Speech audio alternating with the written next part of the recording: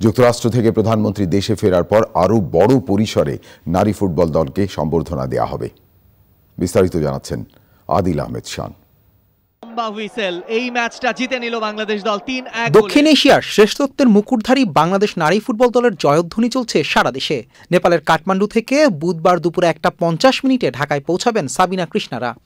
শাহজালাল আন্তর্জাতিক বিমানবন্দরে নারী ফুটবল দলকে ফুলেল শুভেচ্ছায় বরণ করবেন যুব ও ক্রীড়া প্রতিমন্ত্রী এবং বাফুফের কর্মকর্তারা। সেখান থেকে ছাদ খোলা বাসে ট্রফি প্রদর্শন ও উৎসব শুরু হবে টিম বাংলাদেশের। ফলাফলটি আমাদেরকে এনে দিয়েছেন। দীর্ঘদিন পর আমাদের আসলে একটা আনন্দের জোয়ারে আমাদের সকলকে ভাসিয়ে দিয়েছেন। এই, এটি কত বড় একটি সাফল্য, এটি আসলে সব ভাষায় প্রকাশ করার মতো নয়। তারা কিন্তু সবাইকে একেবারে উড়িয়ে দিয়ে চ্যাম্পিয়ন হয়েছে। আমরা দোতলা বাস এবং আমরা জানি যে ঢাকায় এই ধরনের কোনো ছাদ খোলা কোনো বাস নেই। আমরা একটি দোতলা বাসকে উপর থেকে কেটে উপর থেকে খুলে আমরা কিন্তু তৈরি করেছি যে তাদের আনন্দের জন্য আমরা একটু ক্ষতি হলেও তাদের আনন্দটা যাতে আমরা পূরণ করতে পারি, তাদের আক্ষেপটাকে যাতে আমরা পূরণ করতে পারি, সেই জিনিসটা আমরা ইতিমধ্যে উদ্যোগ নিয়েছি। আজকে কাজ চলছে। আশা করি সন্ধ্যার মধ্যে আমরা আমাদের পুরো বাসটিকে আমরা সাজাতে পারব।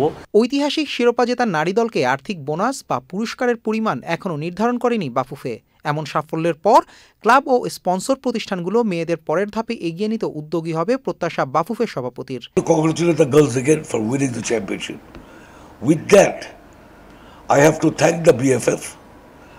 যারা ফুল সাপোর্ট দিয়েছে full well done you champion but only this year it is over look at the forward তোমাদের ফরওয়ার্ডে যেতে গেলে অ্যাজ এ চ্যাম্পিয়ন এখন যা ট্রেনিং করো, তার দুই গুণ করতে হবে।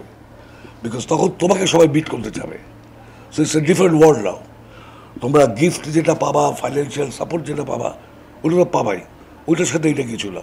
তোমরা দুই থেকে তিন দিন রেস্ট নেই go back to work because যদি তোমরা ফিউচার করতে চাও, আর না হইলে ওই ওয়ান টাইম ওয়ান্ডার হয়েই থাকবা। সাতজয়ী নারী দলকে বহনকারী বাসটি বিমানবন্দর থেকে বাফুফে ভবনে পৌঁছালে তাদের বরণ করবেন বাফুফের সভাপতি। Adil Ahmed Shan Channel i Dhaka